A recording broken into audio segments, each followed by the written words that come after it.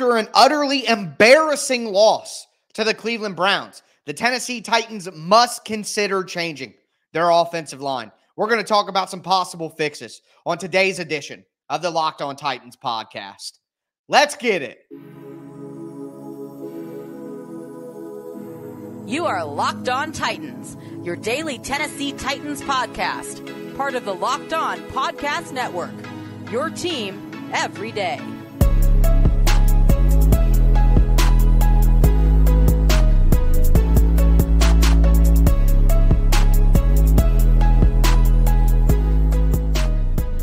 Welcome to the Locked On Titans podcast. I am your host, Tyler Rowland. Titans fans.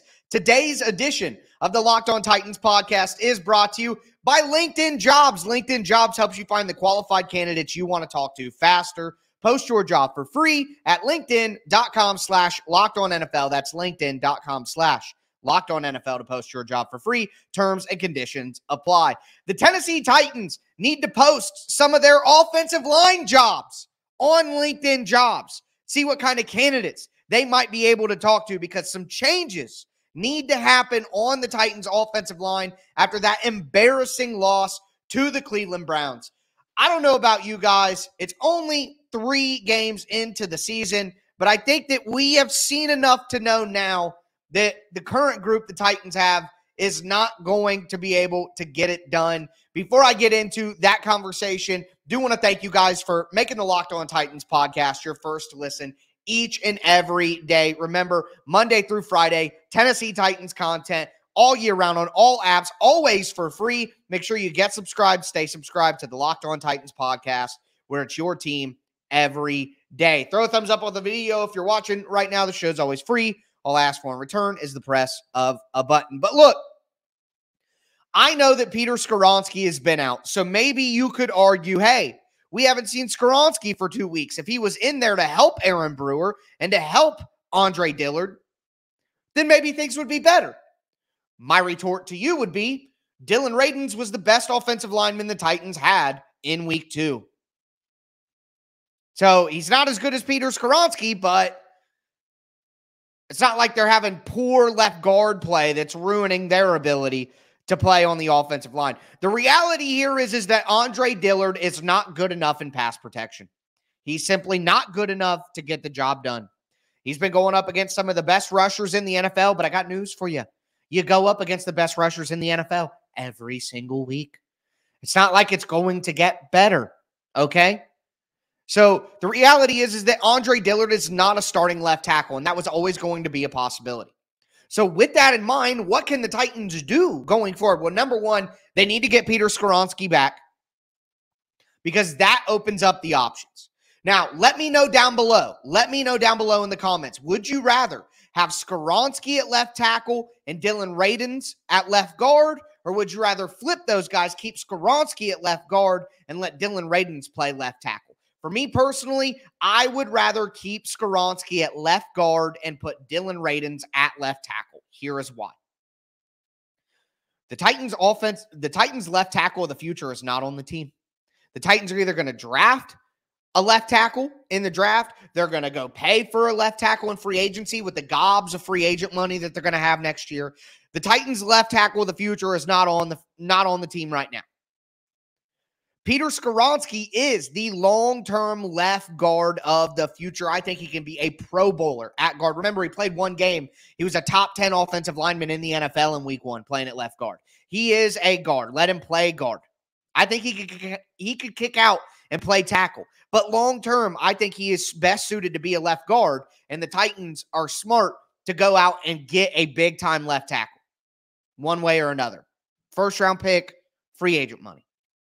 So to me, keep Skoronski at guard. Let him play what he's been practicing as a rookie for the entire season. Let Dillon Radunz, who you drafted in the second round as a left tackle, let him play left tackle. And then you could keep everything the same. Aaron Brewer, while I don't think that Aaron Brewer is good enough to be a starter, Mike Vrabel treats him like his own child. So I don't think he's going anywhere. And then Brunskill and Hubbard have been doing okay on the right side. They've been doing okay there. So that's what you look at when Skoronski is back. Right now, the Titans kind of don't have a choice. And and going further, when Nicholas Petit-Frere is available after week six, I would like to see the Titans go with Radunz at left tackle, Skoronski at left guard, Brunskill at center, NPF at right guard, Chris Hubbard at right tackle. Why not? My thing is the changes that we're talking about here, these formations of the offensive line, these versions of the offensive line that we're potentially discussing, these versions of the offensive line cannot be dramatically worse than what we are seeing on a week to week basis. The Titans' offensive line was not, and, and here's the thing it's been mostly Aaron Brewer and Andre Dillard. That's been the reality in pass protection. It's been Andre Dillard and Aaron Brewer getting cooked. But in the run game, it was not good enough today either. And a big part of that is the tight ends. I'm not getting out of here. We can blame the offensive line all we want, and they deserve their fair share of the blame, especially center and left tackle. But the reality is the Titans' tight ends have been awful in run blocking. Chig Okonkwo, Josh Whyle, Trevon Wesco is supposed to be one of the best blocking tight ends in the NFL. Has not been the case. He's been awful. So in pass protection, we know who to blame Aaron Brewer and Andre Dillard. We know that. So fix those two components and let's at least give that a try. But in run blocking, the Titans' tight ends are not getting the job done, and that's not helping the offensive line either. So I'm all in favor of if Skoronski is back, put Radunz out at left tackle. Let Skoron don't do what you did all last season and let Dennis Daly destroy the offense at left tackle. Make a try something. All I'm asking is for the Titans coaching staff to try something. And we've talked about some possible combinations that they could try out as the year goes on. But with that being said, it's time to get into tighten up, tighten down. And I'm going to start with the tighten downs because there are a lot to go over. But before we get into those, do want to let you guys know that today's episode is brought to you by LinkedIn Jobs. Every day, a new potential hire feels like a high stakes wager for your small business. You want to be 100% certain that you have access to the best qualified candidates available. That's why you have to check out LinkedIn Jobs. LinkedIn Jobs helps you find the right people for your team faster and for free. All you got to do is create a free job post on LinkedIn Jobs. Then add your job in the purple hashtag hiring frame to your LinkedIn profile, and they will spread the word that you're hiring. They have simple tools like screening questions. It's why small businesses rate LinkedIn jobs number one in delivering quality hires versus leading competitors. LinkedIn jobs helps you find the qualified candidates you want to talk to faster. Post your job for free at LinkedIn.com slash locked on NFL. That's LinkedIn.com slash locked on NFL to post your job for free. Terms and conditions do apply.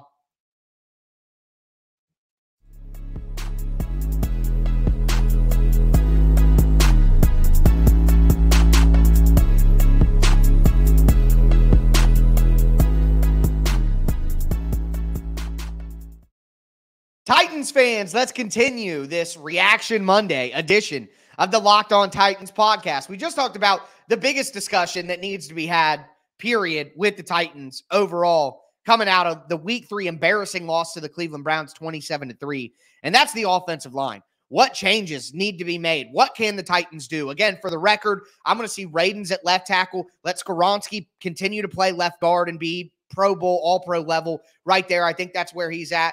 Maybe we could see Daniel Brunskill at center. I still think it'll be Aaron Brewer with Brunskill and Hubbard on the right side. When NPF comes back, though, maybe you let Brunskill play some center, NPF at right guard, Hubbard at right tackle. The Titans owe it to the rest of the team to look at some different combinations because it's not like the combination that they have right now is a winning one. But I want to get into more than just that, talk about more of the individual good and bad and tighten up, tighten down. Let me know your biggest tighten downs your biggest Tighten ups down below in the comments. Hit me up on Twitter at Tic Tac Titans. But with Tighten down, again, want to kind of move the conversation forward from the offensive line, look at some other things, starting Tighten down with Andre Dillard. I'm back.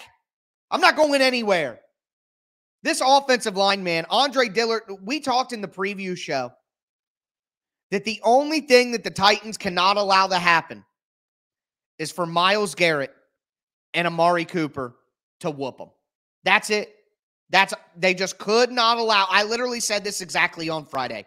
You cannot allow those two guys to ruin the game. You can't. And what did the Titans do? Let those two guys ruin the game. Myles Garrett absolutely ate Andre Dillard's lunch, and they gave him help late. They started to help Dillard late, but what were you doing the whole first half when Myles Garrett was going one on one against Andre Dillard? What were you doing? Why was why was there no adjustment? Why was there no chip help?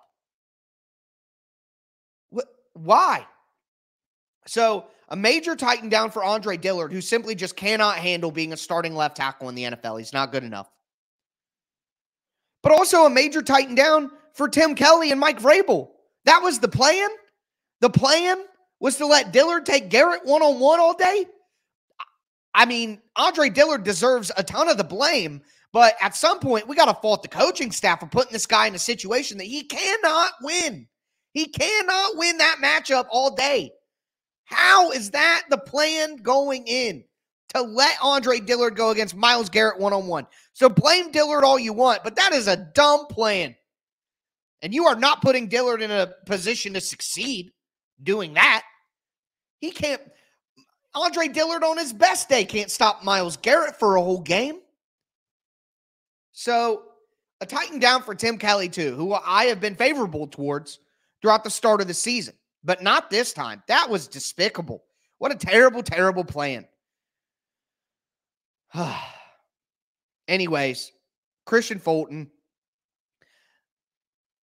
I was trying to trade Kristian Fulton during the summer, folks. That was I said if the Titans had a number one trade candidate, it should be Kristian Fulton. Get some value for him now because they are not bringing him back. The guy just cannot put it together. He gets beat at the catch point far too often, doesn't play the ball well. He makes critical mental mistakes week after week, getting beat by Shaheed down the sideline. The long touchdown, who I'm giving equal credit to Amani Hooker and Kristian Fulton. They're playing cover four, and they're supposed to communicate who goes with the deep guy. That's a tough coverage to run against a deep vertical route like that. But Fulton's always involved when those coverage busts happen. Fulton is always involved. So major tighten down for Kristian Fulton, who just got absolutely whooped by Amari Cooper all day long. It was embarrassing. And Cooper should have had that touchdown. The Titans got gifted. Okay. Cooper cooked Fulton on the sideline and ran for a touchdown, and the referees called it out of bounds, and it was not even close to out of bounds. Fulton should have got cooked even more. Another 60 yards and a touchdown added on top of what he gave up already. You could not let Myles Garrett and Amari Cooper beat you. And the Titans had a terrible plan on both sides of the ball for stopping those two players. Garrett had what, three sacks? Cooper went for 116 and a touchdown. Should have been more. Just a major Titan down. I said my reaction, all levels. The O line, Tannehill started missing passes. Burks and Chig drop passes. The running game can't get going because the tight ends are awful. The pass rush missed a bunch of sacks. Uh, the coverage couldn't stay anywhere close to their man, especially Fulton. Well, I honestly, Sean Murphy Bunting was good, but we'll get to that later. But like there's such a failures, and then the coaching. The coaching was an absolute failure. You don't lose 27 to 3 unless you get beat every single step of the way. So it tightened down for pretty much everybody involved, but specifically for Andre Dillard, Kristian Fulton, and the coaching staff specifically. Vrabel, Bowen, Kelly, Fulton, Dillard, top five Titan downs. Let me know if you guys think I got anything that wrong. Again, I talked about it a second ago. The tight ends, all three of them, Chig, Wesco, Whyle, horrible. Haven't helped a soul all year. Um, and again, the one unit that we're supposed to be able to count on each week is the defensive line. Arden Key, Jeffrey Simmons, Denico Autry. Harold Landry has been a ghost, ladies and gentlemen, a ghost. And he deserves time with the ACL, but time's running out. I mean, after next week, it's going to be a month into the season. The Titans look like they could be one and three. Real questions have to start to be asked and answered. Okay, real change has to be made to see if they can salvage any of this. And if they can't, then it's time to play one of the young quarterbacks. But this is a tighten down for the entire organization. Last week was an organizational win. This week was an organizational loss from top to bottom. The people that you count on the most let you, letting you down. And some of the lottery tickets the Titans took in the all season look like eh, it's time to scratch them and throw them. So let me know if I got any Titan downs wrong. When it's that bad, it's hard to go over every single person, but we know who deserves the most blame after that. We're going to get into some positives, though. It's time to talk some Titan ups. Okay. I, I want, hey, I want to talk about some positive stuff too. There were some people who did some good things that I'm excited about. So I want to talk about that in just a second. Before I do, though, do want to let you guys know that today's episode is brought to you by DoorDash. Are you missing syrup for your pancakes? Just run out of your favorite coffee creamer with DoorDash grocery delivery. You can get what you want right when you need it. If you love the convenience of getting what you want right to your door with DoorDash grocery delivery, you could stock up for the week or order last minute cravings conveniently. You've trusted DoorDash to deliver your restaurant favorites, and now you can get grocery delivery that actually delivers too. With thousands of grocery stores to choose from, you'll find the best in your neighborhood and boost your local economy with each and every order. Get 50% off your first DoorDash order up to $20 value when you use the code locked on NFL at checkout. Limited time offer, terms apply. That's 50% off up to $20 min subtotal and zero delivery fees on your first order when you download the DoorDash app in the App Store and enter code Locked On NFL. Don't forget that's code Locked On NFL for 50% off your first order with DoorDash.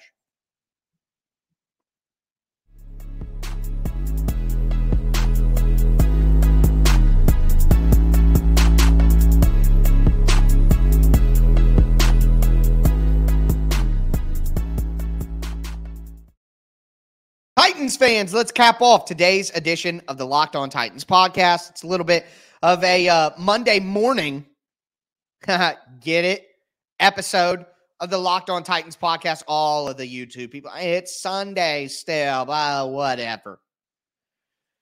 All right, that was embarrassing. 27 to 3 loss to the Cleveland Browns. We talked about some changes on the offensive line that the Titans could make. We talked about the Titan downs, the performances that really stood out as terrible. Um, I do want to talk about the tighten ups though, because there were some tighten ups before we get into that. Thank you guys again for making the Locked On Titans podcast your first listen each and every day. Remember, Monday through Friday, Tennessee Titans content all year round on all apps, always for free. Make sure you get subscribed, stay subscribed to the Locked On Titans podcast. Tomorrow, we're going to go over the tape. I'm going to talk about what I saw on film on the coach's tape, really dive into what happened schematically in that loss. Wednesday is What's Next Wednesday. And I'll tell you, uh, this loss sucks so bad. I'm already looking at what's next, talking about the offensive line uh, to start the show. That's already a What's Next Wednesday segment. Thursday's crossover Thursday, Bengals. I know you guys love the locked on Bengals, guys. So can't wait for that. And then uh, Friday will be game plan Friday. I will try to devise a plan for the Titans to beat the Cincinnati Bengals for the first time uh, since I've been covering this team. uh, quite frankly, since I saw the Titans beat the Bengals in 2018 in Nashville. Ever since they've lost every time. So we'll see if we can put something together. But with that being said, I am going to talk about the Titan ups here. I do want to talk about the players who played well because there were some players who played well who I want to highlight. DeAndre Hopkins, three catches, 48 yards. Thought it should have been four catches with that catch on the sideline. Um, made the 26 yarder on the sideline right after that. Before halftime, that was huge. I thought Hopkins made some big catches. Um, he looks solid, honestly. Uh, it's the offense's fault more than anything. I think Hopkins has been solid. Chris Moore continues to make big plays. Had the 33 yard catch where he mossed the defender on fourth down. That was awesome. That was awesome. Um, Sean Murphy Bunting.